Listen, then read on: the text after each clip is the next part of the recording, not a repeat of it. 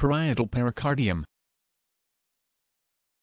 Parietal pericardium, the outer layer of the pericardium which is a conical sac of fibrous tissue that surrounds the heart and the roots of the great blood vessels. The pericardium has outer and inner coats. The outer coat is tough and thick and, loosely cloaks the heart, and is attached to the central part of the diaphragm and the back of the sternum breastbone. The inner coat is double with one layer closely adherent to the heart while the other lines the inner surface of the outer coat with the intervening space being filled with fluid. This small amount of fluid, the pericardial fluid, acts as a lubricant to allow normal heart movement within the chest. The word pericardium means around the heart. The inner part of the pericardium that closely envelops the heart is called the visceral pericardium or epicardium.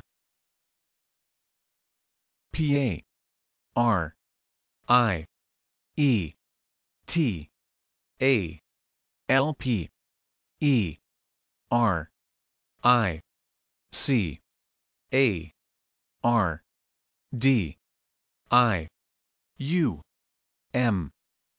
Parietal pericardium